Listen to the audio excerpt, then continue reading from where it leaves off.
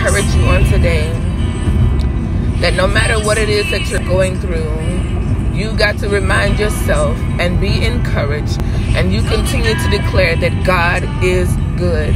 Be reminded of the story of Job. Job did nothing wrong, but the Lord allowed him to be tested because God knew Job's heart. I got in my car this morning and this song began to play. God, you are good. Ushaya. You are good. And when I tell you an overwhelming presence of God just began to fill my car.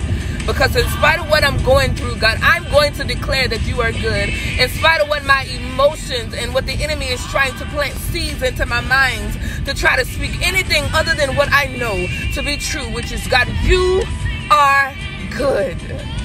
Every day of my life, Father, you are good.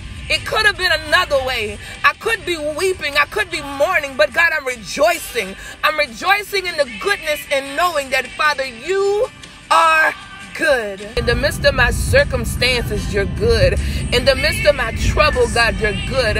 In the midst of the good times, the bad times, God, you're still good. You're good to me.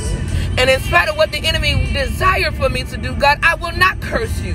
Desire, uh, in spite of what the enemy desire of me, I will not say that you aren't good. I will not allow my lips to speak anything contrary to what I know to be true about you, Lord, just because of difficult times.